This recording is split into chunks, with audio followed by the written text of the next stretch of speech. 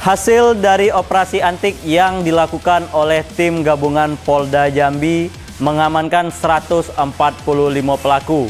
Dari hasil tersebut, tim mengamankan sejumlah barang bukti berupa sabu, ganja, dan juga pil ekstasi.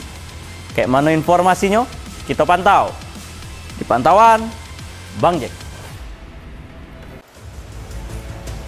Hasil operasi antik yang dilakukan oleh tim gabungan dari Polda Jambi berhasil mengamankan sebanyak 145 pelaku dengan rincian 136 laki-laki dan 9 orang perempuan dari 106 kasus. Hal ini disampaikan oleh Humas Polda Jambi Kompol Mas Edi.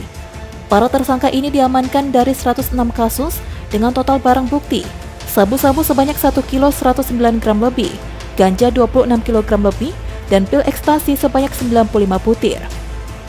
Edi juga menjelaskan seluruh tersangka berhasil diamankan Polda dan jajaran saat ini sedang ditahan di Polda maupun di Polresta guna melakukan penyidikan lebih lanjut. Selain itu, Edi juga menuturkan dari hasil penyidikan nantinya, berkas para tersangka tersebut akan diserahkan ke jaksa penuntut umum untuk dilakukan persidangan. Dapat 106 kasus perkara yang ditangani oleh tim dari seluruh jajaran dengan tersangka sebanyak 145 orang dari sekian banyak uh, tersangka yang diamankan itu diamankan juga barang bukti dari tangan-tangan mereka. Itu yang pertama sabu.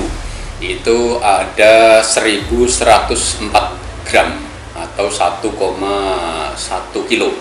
Ya kemudian ganja itu 26.593 gram atau 20, 26 kilo.